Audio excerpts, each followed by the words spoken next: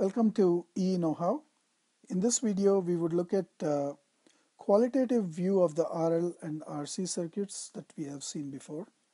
So let's look at the R L circuit and then we had two switches here. One switch to connect the RL circuit across a DC voltage source V and another switch to short the circuit to this S2 to ground and S1 to the DC voltage source and this is R and this is L.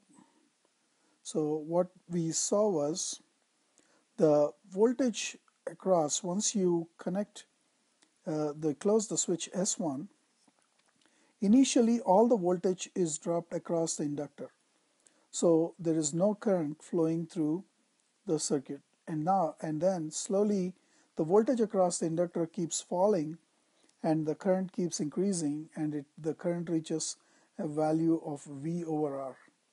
So if you looked at it from the current and the voltage if we plot them so say the voltage first VL of t it's initially all the voltage appears across the inductor which is V and then it falls towards zero inductor becomes a short whereas if you look at the current uh, flowing through the inductor or through this circuit the I of t here so this is I of t flowing in this direction like the with the direction the arrow pointed here. So it increases it is initially starts at zero increases to a value which is V over R. And then once you close say the switch the switch S1 is opened and S2 is closed what happens is if you look at the the current it still starts it still flows in the same direction but it dies down towards zero. And whereas the voltage actually I didn't leave enough place here it reverses direction and goes back to zero again. So I should have actually plotted it with some let me plot the voltage again here. So it's plus V minus V. So while the inductor is charging or while there is current being established in the circuit initially it's V goes towards 0 goes to minus V and goes back to 0 again. So this is how and then it repeats. If you do that same thing again it it repeats closing the switch S1 and S2 so now let's look at the RC circuit. So this RL circuit acts from the voltage point of view. If you look at it it acts like a high pass filter. So whenever there is a sudden change in the voltage so it passes the voltage but when the voltage is not changing it would go to zero the voltage across the inductor. And this is our reference ground here. Now let's look at the RC circuit. We have the same established you know the where uh, you have the voltage source DC voltage source with value V and you have the switches S1 and S2 and you had C, R and S1 here.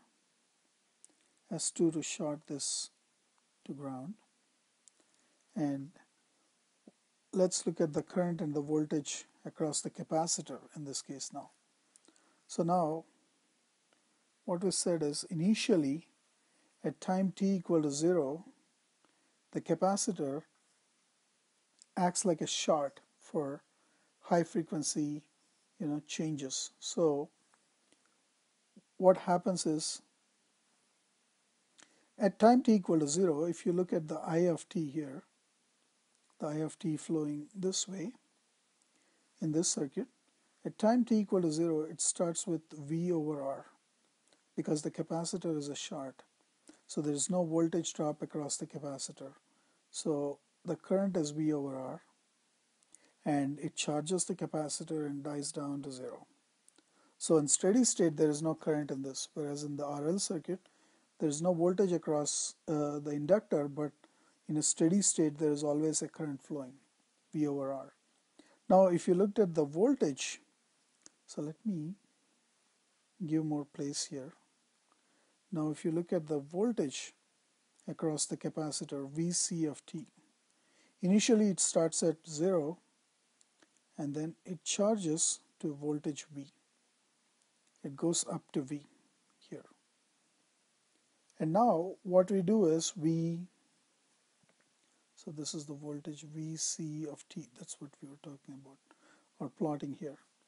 Now you open the switch S1 and close the switch S2 what happens is here the voltage across the capacitor does not reverse it remains the same and it dies down back to zero but whereas if you look at the current, it starts flowing in the opposite direction now. So it goes to minus V over R and then dies down back to zero again. So the current actually is no longer flowing this way. It starts flowing the opposite way out of the capacitor into the resistor into the ground. So here for an RC circuit, for an RL circuit, we saw that the voltage across the inductor reverses, but the current does not change the direction.